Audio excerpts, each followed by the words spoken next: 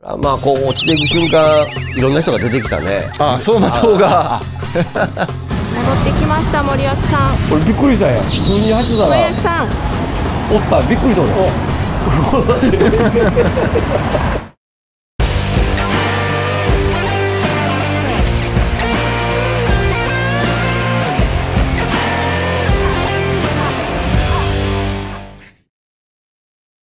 やる気元気森脇チャンネルでございますが。よろしくお願いします。いやいや。さあ今テレビをご覧になった皆様にはもうね。まさにですが森脇さんバンジージャンプお疲れ様でした。ありがとうございます。まあまさかね、はい。えー菊池風磨さん、そして向井浩二さんと、おそこに僕が、えー、バンジーやるとは、想像もしませんでしたけども、まあ分からんもんですね。長いこと芸能界やってると、今一番スターと言われてる向井さんと菊池さんと僕という、どういう人生やねんねよえ。どこの三つどもえを繰り広げてるんだっていう。しかもレジェンドという言い方で、はいいやもう分かんないですけど、ありがたい、ありがたいですよ。ありがとうございます。海外まで連れてってもらって、はい。まさかドッキリとは思いませんでしたが、もう本当にあの、バンジーの直前で知った直前まで分かりませんよね。もうえ森脇さんやからやっぱタイやったっていいうやわけではなく。ね候補はいろいろあったみたいですよ。おー候補国もいろいろあったみたいで、まあ、たまたまっていうらしいですけどね、へえまあ、でも僕は大体年間3回ね多い時は3回行ってますからそうですね。すごく行きたかった国ですからね。3年行ってませんから、コロナで、そうですね、タイ語も結構ちゃんと真剣に習って、まあ、習ってるけどそんなん日常会話ギリできるぐらいですよ、うん。ギリ。いやでもそれででもすごいですけどね。中学1年生の英語ぐらいなレベルですけどおおそれぐらいでなんとか頑張れるという。なるほど8年やってるから、それはい8年やったらそこそこできんとおかしいね まあそうですね。8年はい、うん。いやーどうどうでした？しかしあのバンジーいやー怖かったけどもうやるしかないよね。飛ぶしかないよねっていう。怖かった。ほんまもうらまあこう落ちていく瞬間いろんな人が出てきたね。あ走馬灯が あのキックベースやったこととか。あキックベース思い出すんですか？そうそうそう。のあっこで。森口さんが出てきたりスマップ出てきたり、はい吉田栄作さんも出てきました。はあおはー。い。でボヨヨヨンってなってる時にはい。オールスター関西で第1回目で優勝した時がバヨーンってなって。はい。でポヨーンってなった瞬間に1回と1万円生活も出てきましたね。辛かった思い出ばっかりが。出てきて。あれテレビ的にはもう一瞬かもわからんけどもう本人的にはものすごい長くボヨヨヨヨも踏まえてね。で車酔いするみたいになんねんあれ。こうなってから、グバーグバーなってあの後僕だから ホテル戻って1時間んなんと横になりましたもん。へえあの後。でスタッフは昼ご飯食べに行ってるんですよ。ね。スタッフそうなんですかうまうまいったなってなもんやわね。まあ元気ですからうん。ねほんで僕その後もうもうすいませんもうちょっと僕無理です言うてホホテル戻って寝て。はい。ほんでまあもうその後もう自由やから。はいその日の夜はだからスタッフとまあ晩飯会があるわけやね。はいはいはいでもう楽しみやわね。まあそうですね。もうスタッフももう今までは内緒にしていかなあかんそうそうそう。この晩飯会楽しみで。ほんでそはい。れまでにちょっと体調整えたやから言うて1時間寝てほんで車酔いみたいなこういうボヨヨヨンが戻して、はい。でまだちょっと調子悪いなと思ってまだこう三半規管がおかしかったからよっしゃーもであのパタヤの街ずーっと走っていや実はね皆さん今回その様子を、えー松竹芸能の近藤マネージャーにカメラ渡しまして近藤マネージャー張り切ってたよ。タイの様子を 撮ってきてくれてます。なんてなんて言ったってうちのマネージャーの初めてのタイですからただ観光客はやっぱり僕が知ってるタイのうん3割ぐらいしかいませんでしたし、そうですね。お店なんかもおちょっとだいぶ淘汰されてたなっていう感じがしますね。ちょっとその様子をじゃあ VTR ちょっと簡単にまとめてきてるので、はい。ちょっと前半だけですけどね後半の追い込みはまたちょっと後日はい。放送したいなと思いますのでまずはちょっとこの前半のタイの様子を。これじゃあドッキリでバンジー後の森脇さんってことですね。5ですね。後の、はい、ただあの1時間寝た後やで。1時間寝た後今から走りに行くっていう。走って体調整えるといいうう独自な方法をとってる森脇さんの様子をご覧ください、こちらです。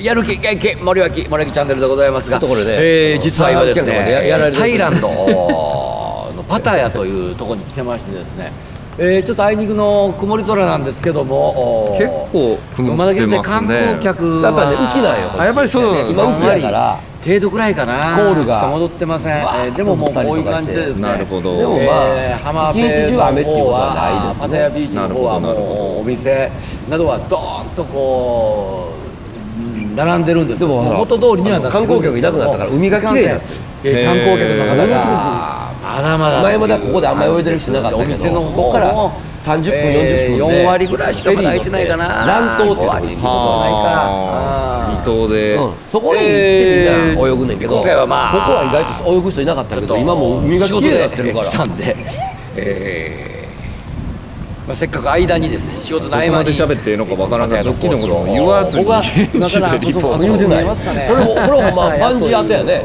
ねえ。ジー跡やけど一切そこも言わず。8キロぐらい1時間寝た後やいい繋がれるかもわからんからコースですね途中には歓楽街もあって。これも全部今度マネージャーがインサートをねそうかと思ったら森脇さんの指示のもと。あとはこれインサートを撮っててずらーっと並んでて。えーまあそういうところも走ったりするんですけどお話をね。明日は追い込みやろう思ってるんで、そこをちょっと。まさかバンジーあるとは思わず追い込みの予定を組んじゃってるもんだから。も うでもまあちょっと僕は走ってきますんでしばし、えー、近藤マネージャーが取るパタヤの2022年8月の現状を見てください、えー今こんなことになっております。では気をつけていってらっしゃい。森脇さんもどこでも森脇さんですね。はいあとどんな？あるロケで昨日パタヤに。どんなとこ？昨日は日曜日ということもあって海水浴。なんかあのこのパタヤのサマーリゾートみたいになってるはい。たくさん人サマーリゾートったんですけど今日ちょサマーリゾート。月曜日平日で。この 人少ないでしょそうですね。観光客もちょっといないですねこのジェットスキーとかもうみんな置いてある。ねこのボートえ。水上本来ならばこのジェットスキーがもうバンバン動いてもう騒音がすごいんですけどでこれ手前売り子のお姉さんやね。え？あ売りパタヤの街並みですあんのいたからパタヤビーチ沿いのこの大通りといいますか車通り。ここもじゃあ相当でかいこれビーーチロードって言って一応メインストリートなんですよ。でこれソンテウンってあの観光客はいないんですけど観光客がいたらプップッと鳴らして。皆さんで相乗りして目的地に向かうような俺が前日教えたこと全部言ってる。よねあらゆるところにコンビニセブンイレブンがあります。いやそれはもうね必死でレポートしてくれてる。この横に両替。セブンイレブンがあることも。セブンイレブンあるんですね。人通りもちょっと少ないですね。にあのさっき両替所ねああいうとこで両替した方がホテルでとか空港でやるよりもレートいいですよっていうのを全部彼女に教えたんですよ。え全部言うてますねコロナ禍以少ないです降ね。3年ぶり約3年ぶりのタイということで人少ないでしょ景色もいろいろ変わっているところがあったということで話して観光客が全然歩いてないこの辺りでほら。ほら歩いてないですね。す勝手に待ってみたいと思います。来るかこういう左手の空き地なんかはもうあとちょっとしたらなパタヤには私も驚いたんですけど野良犬が結構もう野良犬いらんねん取らんでええねん。いますこの方すぐ動物ここは森脇さんがタイに来た時に立ち寄るという散髪屋さと取らんんでそんなここで切ってるんですこれ聞いねて。いやここで切ってるところで撮ってほしかったな。今度は行かなかったんです、ね、いや行ったよ。あ行ったんですか？次の日行ったよ。それ撮っといてほしかったな。戻ってきました森脇さん。俺びっくりしたんや。普通に走ってたら。森脇さんおったびっくりした。俺 お。びっくりしたよ。結構長いちょっと散歩してたんです。汗見たらわかるでしょ。シャツの汗見たら。あいやー気持ちいいね。なんで HKT48 本来ならばああやってジェットスキーやってる人がガンガンおんねんけど。全く少ないからね。まあでも海が綺麗になってる。これはすごいわ よっぽど綺麗な。綺麗になってる。街が綺麗なんですでやっぱりすごいなと思って今ずーっと走っててすごいお店が潰れ潰して。ああなんかさら地になってる。淘汰されていくんやな。ここなんかもう。世界の観光地ですからね。淘汰されていくんやな。思うわそうやってこの中で来させてもらってるっていうだけでありがたいです。あそこ僕いつも行く散髪屋さんや。撮りました。体の疲れじゃないですか。だいぶでも走ったらマシになったね。走ってだいぶマシになった。昼寝1時間して1時間も大体普通やけど1時間昼寝して。あーやっぱり走ると気力体力が戻ってきますね。でやっぱりこんなすね素晴らしいとこ来させてもらってんねんから。やっぱり練習しないと。はい